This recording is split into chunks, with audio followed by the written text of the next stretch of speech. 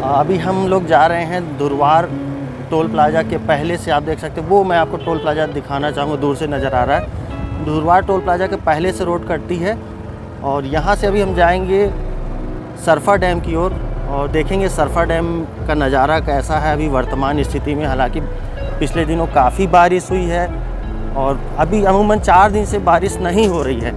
और देख सकते हैं दोनों ओर खेत खलिहान हैं और रोड बहुत अच्छी बनी हुई है। तो बने रहे हमारा शेडोल यूट्यूब चैनल के साथ और देखिए सरफा डैम।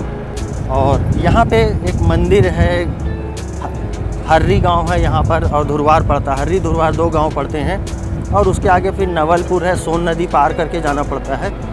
और अभी हम जा रहे हैं धुरवार ग्राम की ओर। और, और बहुत ही खूबसूरत नज़ारा है बदल किए हुए हैं और धान की रोपाई वगैरह भी जारी है जो किसान हैं किसान कृषकों के द्वारा, ग्रामीणों के द्वारा। और काफ़ी लोगों का यहाँ आना जाना बना रहता है। दुर्वा ग्राम से शहडोल में कई शिक्षक हैं तो कई मतलब व्यवसायी हैं, जो कि शहडोल निरंतर आना जाना करते रहते हैं। और ये देखिए बाँस का कितना सुंदर पेड़ लगा हुआ है यहाँ पर। और अभी हम आ गए हैं निर्मल ग्राम पंचायत धुरवार और जैसा कि नाम है, वैसा ही यहाँ का गाँव का परिदृश्य नज़र आ रहा है हमें। दुर्वार बहुत ही सुंदर गाँव लग रहा है हमें।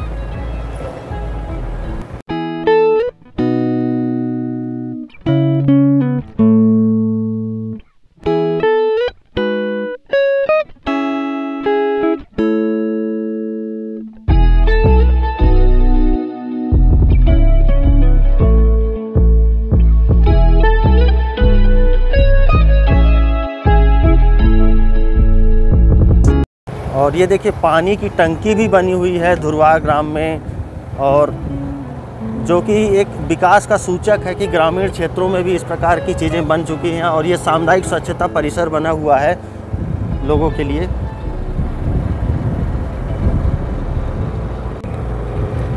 धुरवार ग्राम से कुछ ही दूरी पर चलने पर हमें रास्ते पर और भी कई मकान और दुकान वगैरह दिखाई पड़ रहे हैं और ग्रामीण जन अपने अपने दैनिक कार्यों में व्यस्त हैं। हालाँकि आज रविवार का दिन है, हो सकता है ज़्यादातर ग्रामीण शहर में हो या हो सकता है अपने घर में भी हो सकते हैं।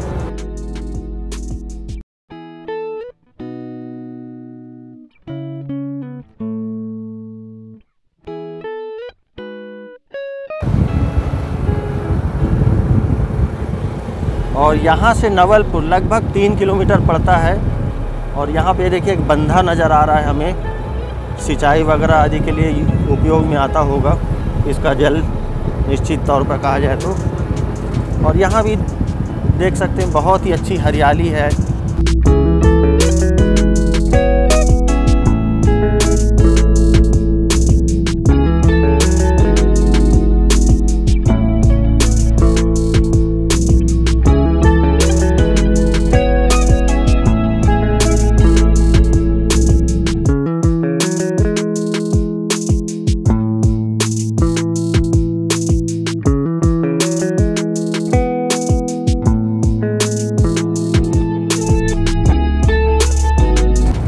बस कुछ ही दूरी पर अब हम पहुँच जाएँगे सरफा डैम है और उसके पहले विश्वविद्यालय है।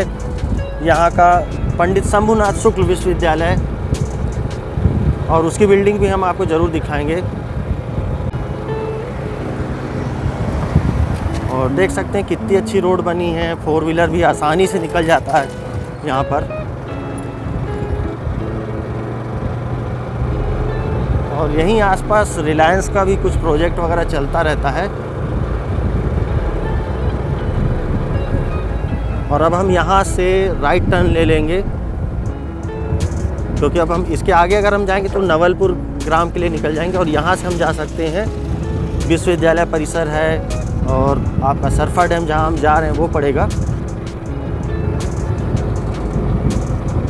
और ये देखिए उधर नवलपुर रोड में दूर पर एक पेट्रोल पंप नज़र आ रहा है।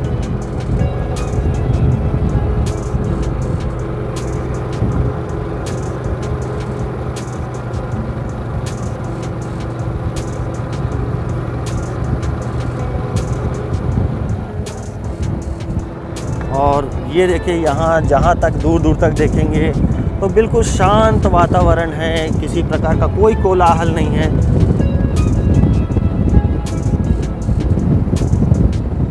यहाँ आकर मानो ऐसा लगता है सारा तनाव जीवन का दूर हो गया हो।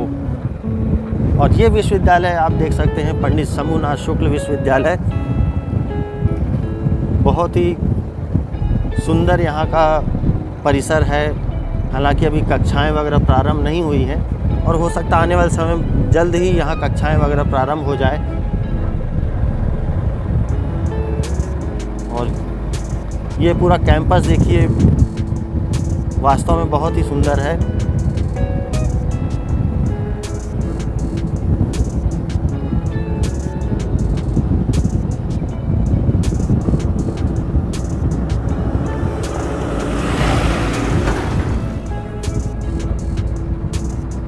और देख सकते हैं यहाँ विश्वविद्यालय परिसर के बाहर खूब सारे पशु बैठे हुए हैं और हरी हरी घास जो उनका प्रिय भोजन होता है वो ग्रहण कर रहे हैं।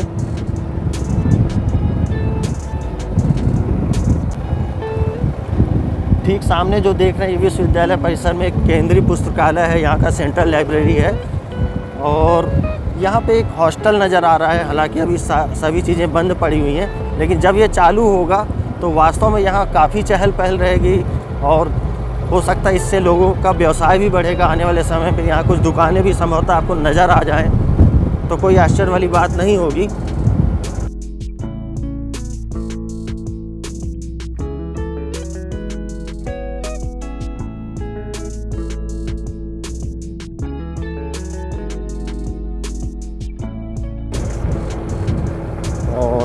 पहुँच ही गए हैं, मान लीजिए, सरफा डैम के पास में।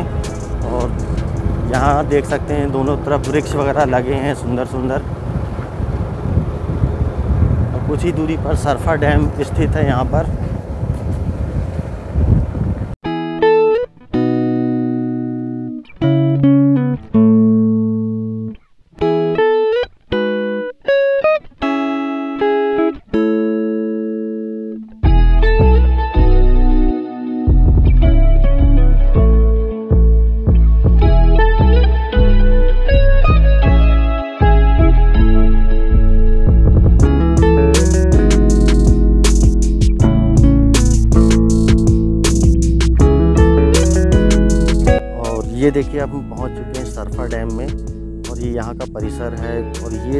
सरफा नदी।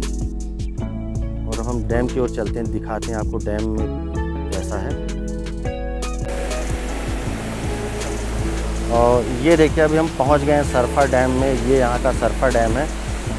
और बारिश तो फिर भी ठीक है, बहुत ज़्यादा नहीं हुई है, लेकिन कुछ गेट खोल दिए गए हैं ताकि पानी की कमी ना हो।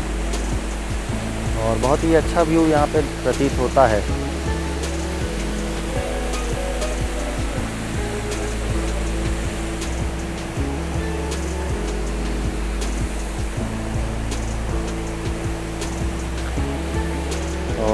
आज हमारे साथ हैं हमारे सर जी। पहले भी आपने इनसे मुलाकात की है। श्री शैलेन जैन जी। Hello hello. है ना? तो आप मज़ा करिए वीडियो एंजॉय करिए। हमेशा आप हमें मार्गदर्शन देते रहते हैं।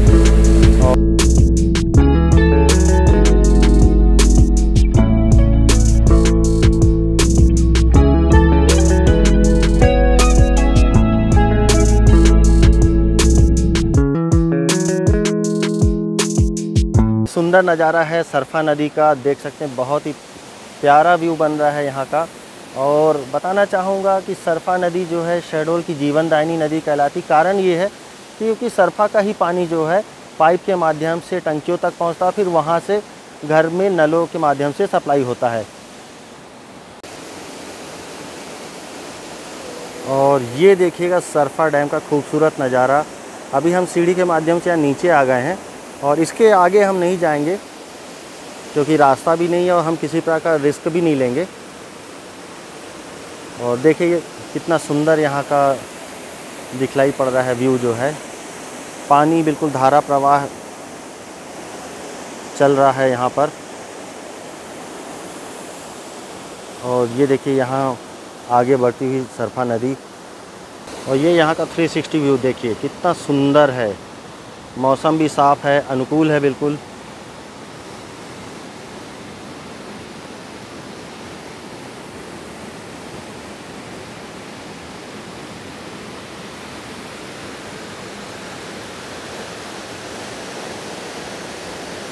कुल मिला के ये कहा जाए कि जितना ही यहाँ का वर्णन किया जाए, कम होगा। मन को सुकून प्रदान करने वाला यह नज़ारा है। परंतु मैं निवेदन करूँगा इस वीडियो के माध्यम से क्योंकि मैंने अक्सर देखा है लोगों को कि घूमने आना अलग बात है, लेकिन किसी प्रकार का रिस्क नहीं लेना चाहिए, क्योंकि एक गलती भारी पड़ जाती कभी कभी इसलिए दूर से ही दर्शन करिए, ज़्यादा अच्छा है।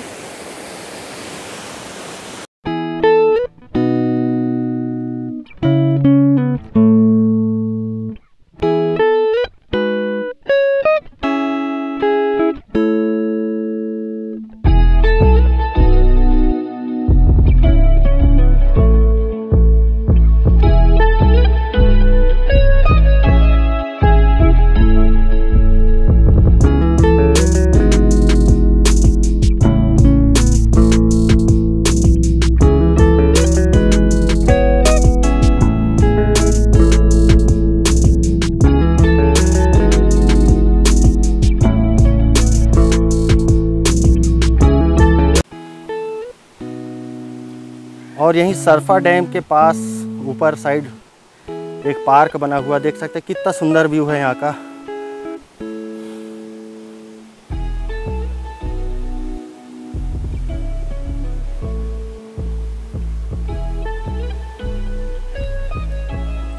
आइए मैं आपको दिखाता हूँ।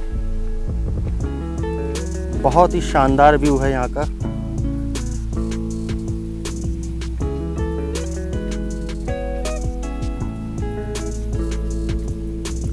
मेरा मानना कि अगर इसे पर्यटन के दृष्टिकोण से अगर इस इधर का विकास किया जाए तो काफ़ी लोग शहडोल ज़िले से और जुड़ेंगे और जिससे कि पर्यटन को भी बढ़ावा मिलेगा।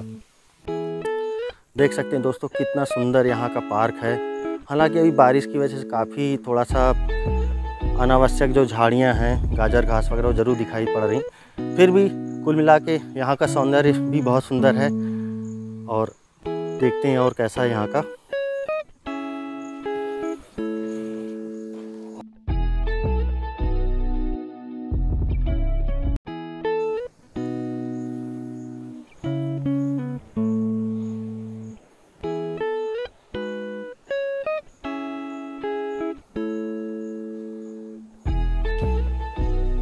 और यहाँ सभी प्रकार के पुष्प लगाए गए हैं, जैसे गुलाब है, गेंदा है, मोगरा है। हालाँकि अभी बड़े होने में उन्हें समय ज़रूर लगेगा और यहाँ पे शायद कुछ बना हुआ है। जिला प्रशासन की ओर से यहाँ बनाया गया है। फिर भी कुल मिला बहुत ही अच्छा है। यहाँ का भी वातावरण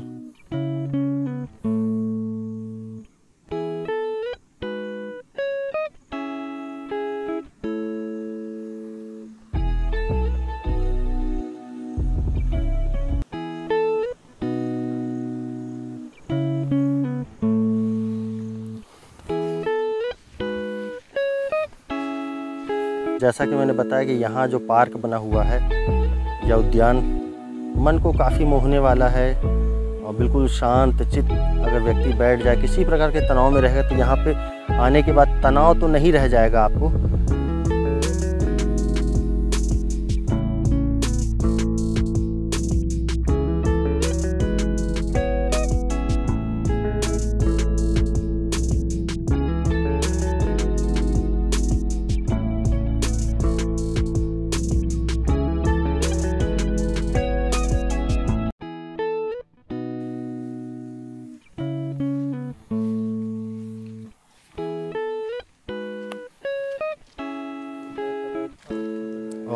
बहुत ही अच्छे तरीके से यहाँ का जो गार्डन है, इसे सजाया, संवारा गया है। और यहाँ पे एक छोटा सा रेस्ट हाउस भी बना हुआ है।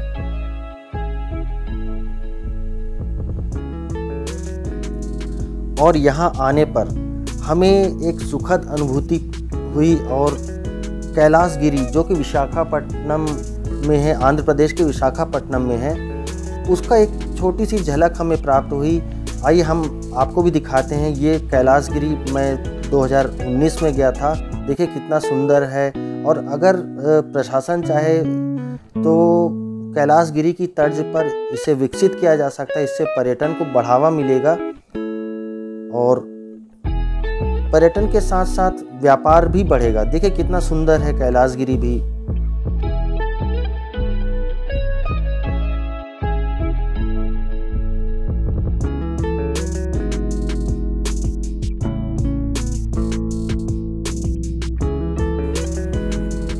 और अभी हम आ गए हैं नवलपुर के आगे। ये सोन नदी का पुल है और देखिए अभी पानी बहुत ज़्यादा नज़र नहीं आ रहा है और ये एक नया पुल बन रहा है और हो सकता है एक आध साल में ये कंप्लीट हो जाए। तो ये जो अभी जहाँ पे हम खड़े ये रपटा है, ये रपटा बंद हो जाएगा और जो है लोकेशन रहेगी तो वो हम डायरेक्ट उस पुल से जा सकते हैं। और देखिए यहाँ सोन नदी का कितना विशाल जो है क्षेत्रफल है, एरिया है। दोनों किनारों के बीच। हालाँकि अभी बहुत ज़्यादा पानी नहीं है। बारिश की वजह से कुछ बहाव ज़रूर नज़र आ रहा है। पर फिर भी मेरा निवेदन है कि अगर आप यहाँ आते हैं तो दूर से ही देखिए। पानी में जाने का प्रयास ना करें। हो सकता है क्योंकि जैसे आप देख रहे हैं अभी पत्थर वगैरह ये नज़र आ रहे हैं तो जहाँ पर अगर पानी है, वहाँ भी इसी प्रकार के पत्थर होंगे तो दुर्घटना घट सकती है। प्राकृतिक सौंदर्य जो दूर से ही देखें तो ज़्यादा उचित रहेगा।